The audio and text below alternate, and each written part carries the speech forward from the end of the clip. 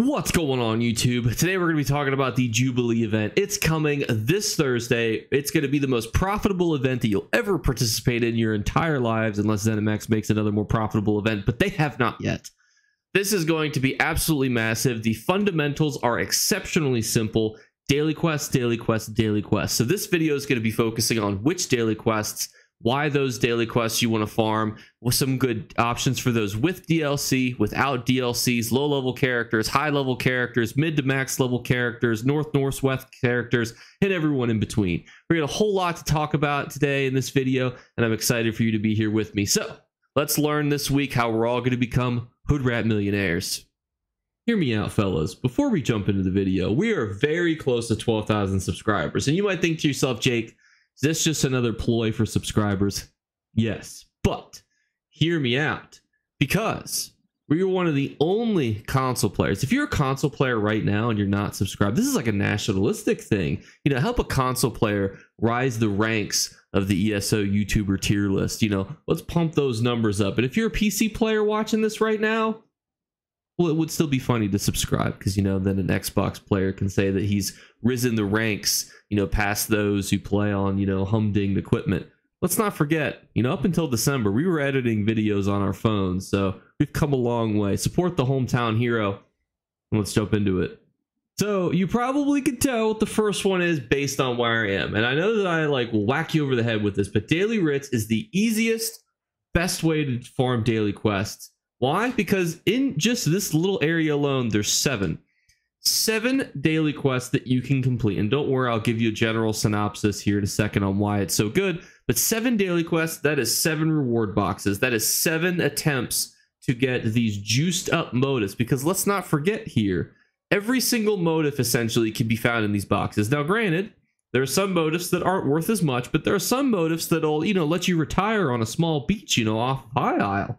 You know, and I, you know, I imagine you may want to retire off a beach off a high isle. It's a pretty beautiful island, you know, minus the sea elves and the giant snakes in the water. So it could be a pretty good option for you. Now, the general time to complete your daily writs, even on console for us that don't have add-ons and the ability to press buttons and have the whole game play for us using macros, you know, we can still do it in a couple minutes.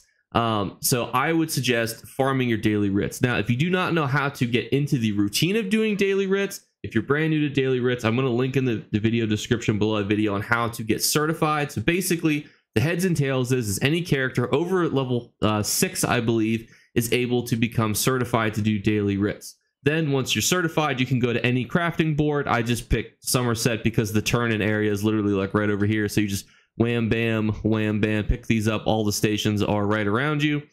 Do those, turn those in. Now, why do I suggest doing these on low level crafted characters? So generally, you have a better chance to get gold materials, you have a better chance to get better items by doing crafting writs on a character with higher crafting level. What is higher crafting level? I'll show you. So generally, that's why people farm it on high level accounts, but you really don't care if your jewelry crafting is, you know, higher level. Doesn't matter because you just care about that daily reward box. So that's why crafting writs is the easiest bar to entry for anyone that's doing this event. Requires no DLC, requires really no level except level six, and you can farm it as many times as you want. You can make multiple accounts. That's actually what a lot of endgame players do. They have multiple accounts who are certified crafters that they just farm these things on because the Jubilee again is the most profitable event. So it's really good to utilize for your daily writs. Plus, you're also going to be getting gold, a ton of experience and crafting experience, as well as materials that you're able to utilize in the future. Because let's not forget, too, with Necrom coming up here soon, certainly isn't going to be very bad to have a bunch of extra materials that you're going to be able to use, and you're going to be able to make a pretty penny off those also. So, really, it's a win win for everyone. But this is not the only way that you can farm these boxes. I have a few others that I will show you. Another really good quick option for you guys is to consider your traditional guild dailies. This is going to include things such as the Undaunted, which are these silly billies that I'm sitting next to right now. Why is doing the Undaunted good? Well, while their dailies do take a little bit longer, you're still going to be rolling for Undaunted keys and you're going to be able to utilize those bad man pajamas. You guys know that I love Undaunted keys. I think they're one of the most valuable currencies in the game and I think that they're generally worth farming. Another quick shout too that you're more than welcome to do is both the Fighters Guild and the Mages Guild dailies. You'll be able to pick those up from the same town, uh, which is the Undaunted Enclave is in. Um, overall, I think that they're okay to do. I think that they're great to level up your companion. So if you guys are out here wanting to level up your companion, um, one singular daily is going to level them up one time with the max level of 10. So for example, seven mages guild will go to eight mages guild after you've done one daily quest uh, vice versa for undaunted and fighters guild. Worth doing i think especially during the jubilee event. Quests don't take a whole whole long time. Uh, so overall this is a great free way for anyone that doesn't have eso plus to also get some extra boxes and some other good currency. Shout out to sweet muffin head who messaged me while i was recording this video so this next tip is actually my favorite, and it's a bit loosey-goosey crazy, but I'm actually in Cyrodiil for daily quests. Now, the obvious answer for PvP dailies is to go do your little fruit basket ones, you know, Ooh, go kill 40 players, go scout some bases, ooh. But honestly, one of you guys suggested this in one of my videos, and it made a lot of sense. As someone who had to farm this for an antiquity, um, it could be pretty easy and fun to go do not only the towns. So each of these little towns will also give you daily quests. There's also little side cities, such as the one that I'm currently in right now, uh, Chorrol. Now, what's really nice is, is the quests here are exceptionally straightforward and very fast to complete. You're going to be rolling for antiquities, you're going to be getting AP, and you'll be getting those Jubilee event boxes. So overall, I think it's another great option. In addition to doing this too, you could also consider doing the Imperial City, which I think is another great option for you. So now we have a weird litmus test. So we talked about some daily things that you can do. And stick around to the end of the video because I have a final suggestion for your daily quest before Thursday here. But now we're going to talk about price checking. And you're probably wondering why I'm sitting next to an outfit station. That probably seems a bit counterintuitive. But what's interesting about these is it actually tells you where items drop from. For example, you could see that the Worm Cult helmet drops from Anniversary Jubilee gift boxes. This one drops from the final boss in Earthen Root Enclave. This one drops from the Rose Red Petal Bastion dungeon. Why is this a helpful tool, you may be wondering? It's a helpful tool because you yourself are learning right now how rare something is, how horrible it is to farm, and how new it is. Now, this isn't something that you necessarily have to do because there are price checking apps out there um, and obviously, I link those in the description below. And I am a huge advocate for price checking apps. I think that they're wonderful. However, price checking apps use data, and data can become skewed. You see, when everyone and their mom has a bunch of items, it can really start to devalue those items. So, for example, say you had to farm Earthen Root Enclave, the final boss. That is a hard dungeon and you pretty much have to do it on veteran to get a motive. And really, you need to do it on veteran hard mode to be guaranteed to get a motive. So you're probably thinking, it's got to be a valuable motive. Well, imagine if everyone got a whole well, your free wills, you know, motive. They don't really know what they have. They're just going to list it up for whatever amount of money seems fair to them in that moment.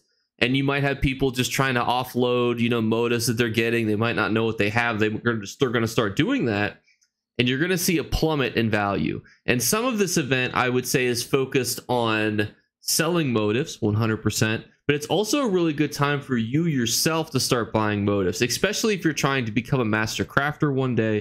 This is a great opportunity to do so. But you also really want to know what you have. I'm a huge advocate of selling items in ESO. I absolutely love the in game currency, how it's set up. But really, a lot of that comes to you yourself having the knowledge, in my opinion. And I think the number one way to have knowledge is to first understand how in the world would somebody attain this normally. For example, this one comes from Fargrave World Boss Dailies. That could be fairly obscure.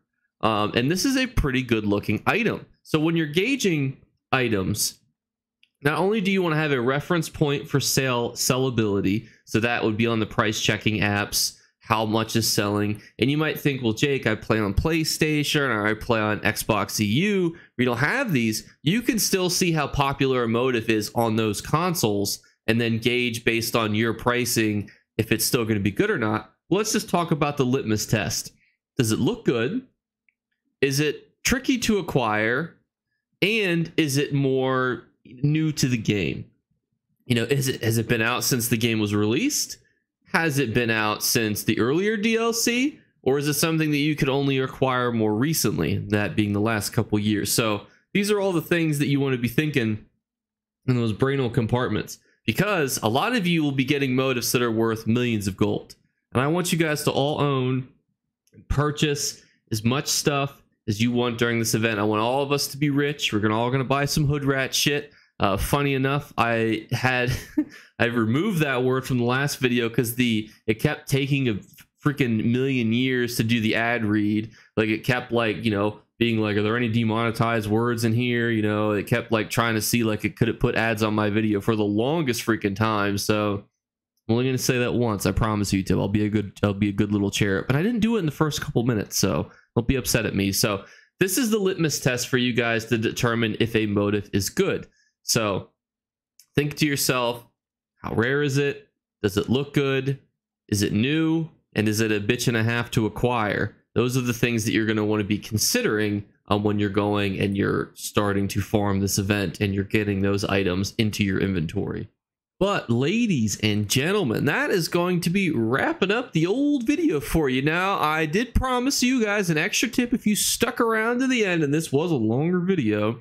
So what is that tip? And that tip is that this event obviously starts on a Thursday. So what a lot of people will do is they will farm a bunch of daily quests on all of their characters, and then guess what? They just wait to turn them in. Because if you do that, then you're going to be starting this event off with plenty of juiced up boxes for you to open, plenty of rolls for those new motifs, as well as those old motifs that are going to be dropping plentifully. So overall, that is a great tip for you guys to do. I hope you guys enjoyed this video. As a quick reminder, we are doing the giveaway drawing for this month. The previous giveaway drawing winners are on screen. To enter, very simply, a random subscriber, a random comment. Just don't get it flagged for spam and it will be entered. And then my favorite comment of the month. Three giveaway enter entries every single month. You can enter as many times as you want. And uh, I pull it at the end of the month. So come May 1st at midnight, we will have three new winners. Each winner wins $20 in a gift card of their so choosing. So, that is going to be the old end of it as a quick question of the day. Are you guys excited for this event? Uh, it's my favorite event. You can probably see the excitement seeping off of me even after a long, cold, hard work day. Tried to break my spirits, but it was not able to because we have the Jubilee event here coming. So I'll see you guys in the event, and I will see you later. Bye, guys. Remember to like and subscribe to Jake Clips. Or you should. I might have to pluck your eyes if you don't. Or, better yet, I'll skip rope with your entrails. Do it now. Subscribe. Ta-ta. Off with you. Post outro Jake here. Thank you for sticking around. This has been a extremely long video. So I just had a quick question on the PvP intro series for those of you who had requested it and just those who might be interested in watching it. Obviously, anyone can weigh in on their opinion. So I'm thinking a three-part series that being through skills, because uh, I think skills is probably the most essential piece of PvP, even bigger than armor and gear sets, then gear sets slash loadout, and then kind of the fundamental slash gameplay slash you know how to recognize certain things. So i'm thinking three parts but i'm open to suggestions on what you guys may think. So let me know if you guys have any tweaks or suggestions that you may be thinking and i'll talk to you guys later. Bye guys